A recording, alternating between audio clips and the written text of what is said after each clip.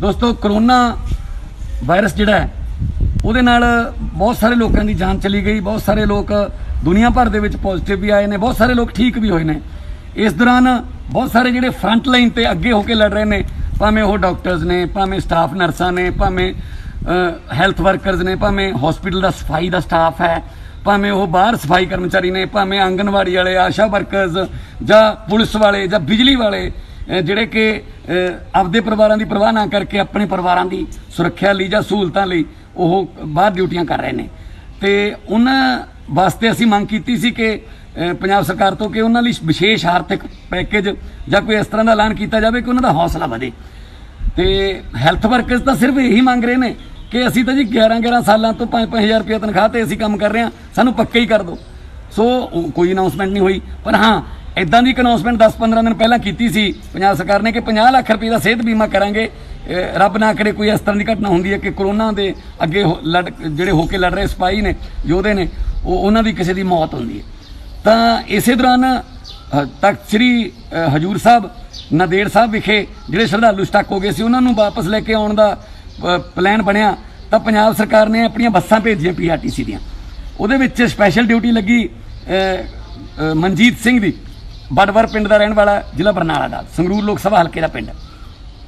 ਉਹਦੇ ਰਸਤੇ 'ਚ ਜਾਂਦੇ ਜਾਂਦੇ ਇੰਦੌਰ ਦੇ ਨੇੜੇ ਦਿਲ ਦਾ ਦੌਰਾ ਪੈਣ ਨਾਲ ਉਹਦੀ ਮੌਤ ਹੋ ਗਈ।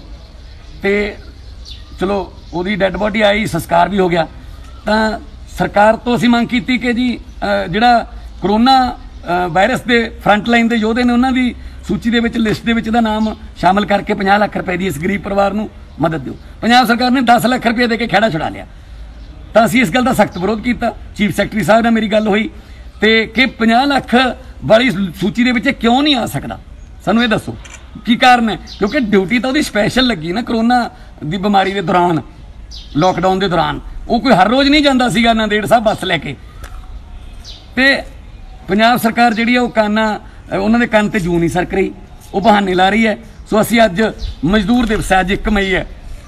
ਅੱਜ ਪੂਰੀ ਦੁਨੀਆ ਦੇ ਵਿੱਚ ਮਜ਼ਦੂਰ ਦਿਵਸ ਦੇ ਤੌਰ ਤੇ ਮਨਾਇਆ ਜਾਂਦਾ ਇੱਕ ਪਾਸੇ ਤਾਂ ਮਜ਼ਦੂਰ ਦਿਵਸ ਤੇ ਵਧਾਈਆਂ ਦੇ ਰਹੇ ਨੇ ਕੈਪਟਨ ਅਮਰਿੰਦਰ ਸਿੰਘ ਜੀ ਤੇ ਧੰਨਵਾਦ ਕਰ ਰਹੇ ਨੇ ਕਿ ਜਿਹੜੇ ਮਜ਼ਦੂਰ ਕੰਮ ਕਰ ਰਹੇ ਨੇ, ਭਾਵੇਂ ਉਹ ਮੰਡੀਆਂ 'ਚ ਕਰ ਰਹੇ ਨੇ, ਭਾਵੇਂ ਨਰੇਗਾ ਵਾਲੇ ਮਜ਼ਦੂਰ ਨੇ, ਜਿਹੜੇ ਵੀ ਮਰਜ਼ੀ ਨੇ, ਜਿਨ੍ਹਾਂ ਕਰਕੇ ਸਾਰਾ ਢਾਂਚਾ ਚੱਲ ਰਿਹਾ ਹੈ।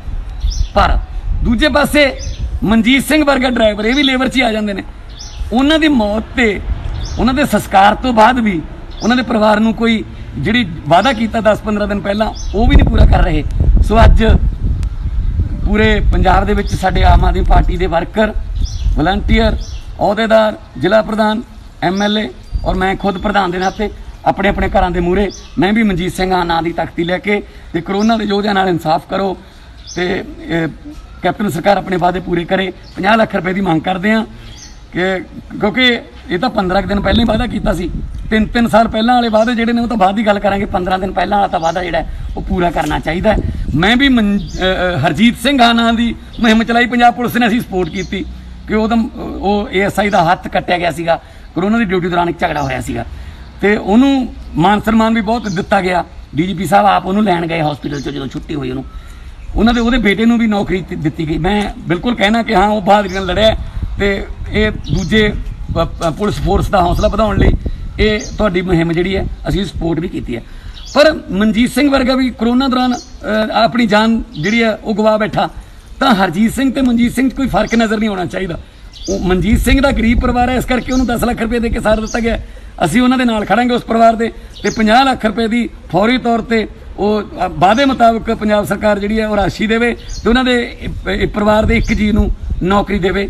ਤਾਂ ਕਿ ਅੱਜ ਮੇ ਡੇ ਵਾਲੇ ਦਿਨ, ਮਜ਼ਦੂਰ ਦਿਵਸ ਵਾਲੇ ਦਿਨ ਜਿਹੜਾ ਉਹ ਮਜ਼ਦੂਰਾਂ ਦਾ ਵੀ ਤੇ ਬਾਕੀ ਜਿਹੜੇ ਫਰੰਟ ਲਾਈਨ ਤੇ ਕੰਮ ਕਰ ਰਹੇ ਨੇ ਡਾਕਟਰ ਜਾਂ ਜਿੰਨੇ ਵੀ ਮੈਂ ਪਹਿਲਾਂ ਗਿਣੇ ਨੇ ਸਾਰੇ ਵੱਖ-ਵੱਖ ਵਰਗਾਂ ਦੇ ਲੋਕ, ਉਹ ਉਹਨਾਂ ਦਾ ਹੌਸਲਾ ਵਧੇ।